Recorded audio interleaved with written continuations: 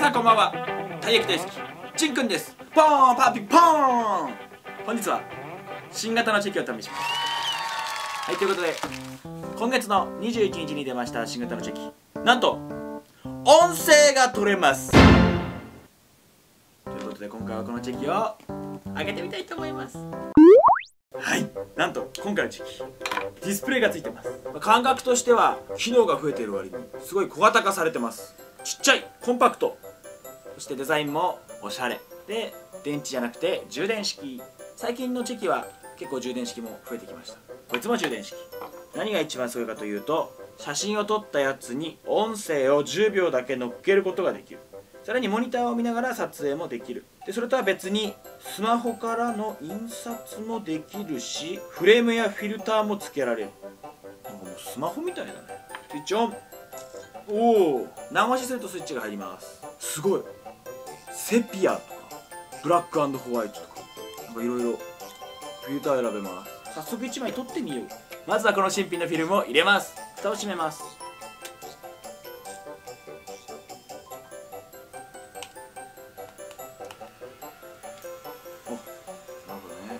入れ替えた瞬間に自動で黒いのが出てきます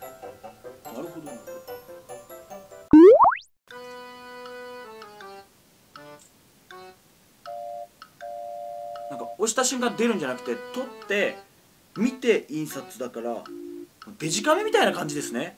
すごい。通常プリント。ウィーン。え待ってこれ同じチェキが何枚も印刷できますわ。えいこの子が出るみたいな感じ。ウィーンって出る感じで出てくるみたいな良いでしょ？はい印刷されたチェキです。すごい。かわい。いフレーム機能も試す。でんできました。ウーモは見た。みたいな。こんなフレームがつけれます。他にもいろんなフレームがあるのだ。驚いてるっぽいフレームからなんかキラキラキラみたいな角みたいなのとかこれなんか友達同士で撮れたらいいのかな。こんなんとか。いろいろ。そんなすごい多いわけじゃないけどしっかりあるのでこれは楽しめるんじゃないかと。それでは今回のメインディッシュ音声付きチェキを撮ってみたいと思います。えそれを作る前にまずは本体とスマホのアプリを接続する必要があります。よいしょ。接続。で、えーと、ペアリングが登録完了。で登録完了したらアップロード中。なんかいろいろアップロードされている。本当に Bluetooth をつなぐだけなので設定はとても簡単です。それではうもちゃんで音声付きチェキ取ります。まずこの音声ボタンを押すと音が撮ってますっていうマイクが出ます。で前後の音を撮ってるみたいです。うもちゃん行くよ。はい。チーズ。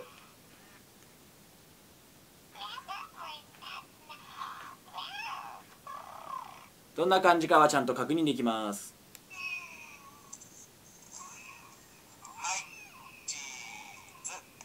はいこんな感じで。押したタイミングからの前後5秒ぐらいずつが入るんでちょっとタイミングがむずいかも。それでは印刷していきます。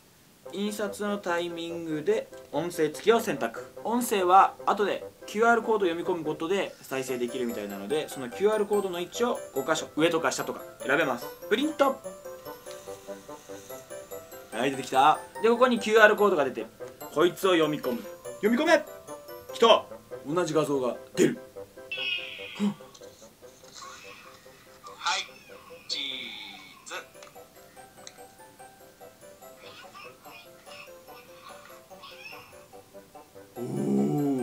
げえすげえ。いやすげえ。すごいな。なるほど。この QR コードの URL に音声が組み込まれていてそこの QR コードを読み込むとそこの画像と一緒に音声が自分のスマホから出るっていう仕組みになってるんだな。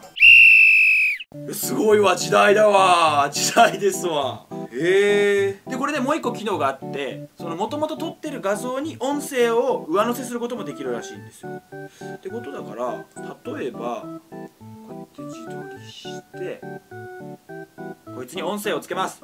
音声ボタン。オン。最新技術ってすごいんだぜ。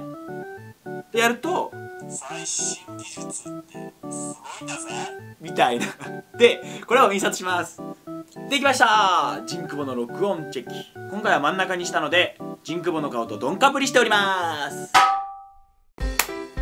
はいということでこんな感じでフレーム足したりとか音声を足したりとか撮り直しができたりいろんなことができるようになりました。